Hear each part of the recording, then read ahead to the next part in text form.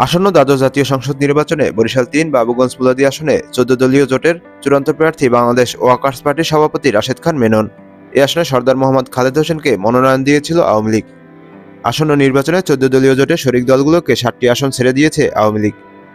আজ বৃহস্পতিবার চোদ্দ ডিসেম্বর রাতে চোদ্দ দলের সমন্বয়ক ও আওয়ামী লীগের উপদেষ্টা পরিষদের সদস্য আমির হোসেন আমু এ তথ্য জানান। আমির হোসেন আমু গণমাধ্যমকে বলেছেন, চোদ্দ দলীয় জোটের অন্যতম শরিক রাশেদ খান মেননের বাংলাদেশ ওয়াকার্স পার্টিকে তিনটি আরেক শরিক হাসানুল হক ইনুর জাতীয় সমাজতান্ত্রিক দল জাসদকে তিনটি আসন ছেড়ে দেওয়া হয়েছে। এছাড়া আনোয়ার হোসেন মঞ্জুর জাতীয় পার্টি জেপিকে একটি আসন ছেড়ে দেওয়া হয়েছে। এসব আসনে জোটের প্রার্থীরা নৌকাপতিকে ভোট করবেন। আমির হোসেন আমু জানান, ওয়াকার্স পার্টির সভাপতি রাশেদ খান মেনন বরিশাল তিন আসন থেকে নির্বাচনে অংশ নেবেন।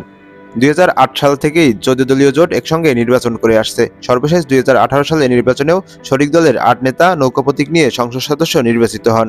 এবারও জোটের শীর্ষ নেতারা নৌকা ভোট করার আগ্রহ প্রকাশ করে আসছিলেন।